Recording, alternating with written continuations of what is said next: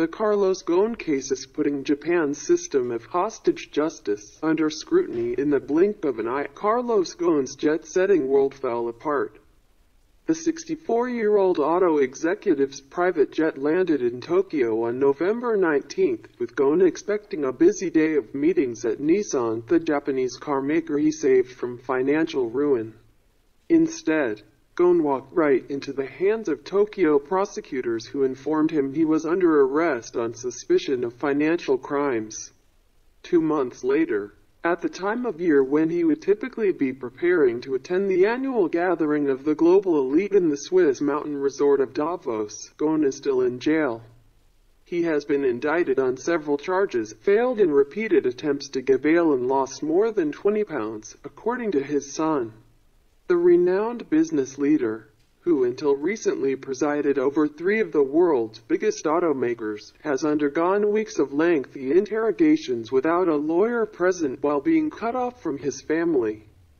Ghosn has protested his innocence but only after a lengthy public silence, which experts say is common for suspects in Japan who often face obstacles communicating with the outside world.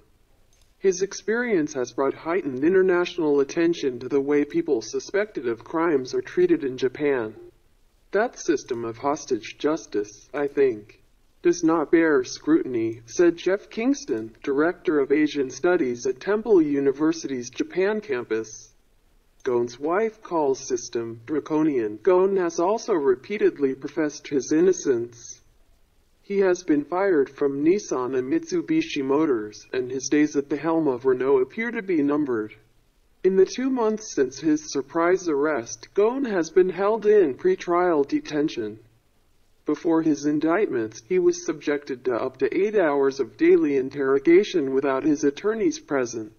He has been repeatedly denied bail on a growing list of charges including understating some $80 million in income and aggravated breach of trust for briefly transferring his own investment losses to Nissan in 2008 at the height of the global financial crisis. Ghosn's wife, Carol, wrote a nine-page letter to the Tokyo branch of Human Rights Watch slamming the Japanese justice system as draconian. No human being should be detained under conditions so harsh that their only plausible purpose is to coerce a confession, she wrote.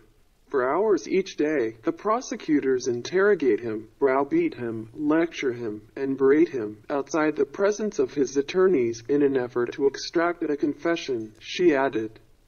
As he waits for trial, Ghosn is likely to face similar conditions to Karpeles' months of confinement with very limited access to other human beings. What's more, the odds are against him. Legal experts say more than 99% of people charged with a crime in Japan are eventually found guilty.